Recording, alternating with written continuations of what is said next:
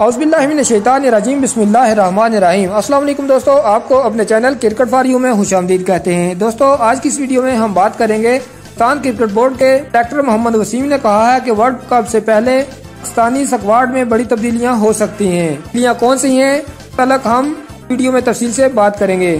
तो दोस्तों, की तफसील में जाने से पहले तो गुजारिश है कि अगर आप हमारे चैनल पर पहली दफ़ा आए हैं तो बर मेहरबानी हमारे चैनल को सब्सक्राइब कर लें, ताकि हमारी आने वाली तमाम वीडियो जल्द अज जल्द आप तक पहुँच सके।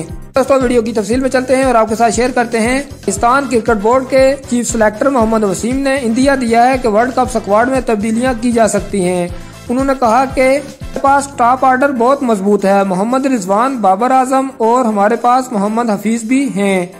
मिडिल ऑर्डर में मुश्किल की वजह से हमने आसफ अली आज़म खान और खुशदिल शाह को शामिल किया है। मोहम्मद वसीम ने सरफराज अहमद को सकवार से निकालने के बारे में बताया और कहा कि सरफराज टीम का हिस्सा थे दो साल से, लेकिन रिजवान की वर्ल्ड क्लास के बाद सरफराज के लिए जगह नहीं बन रही थी। ये हमने उनकी जगह हारस को वनडे स्क्वाड में सिलेक्ट किया और आज़म खान को टी ट्वेंटी स्क्वाड में दूसरे विकेट कीपर बल्लेबाज के तौर पर सिलेक्ट किया है।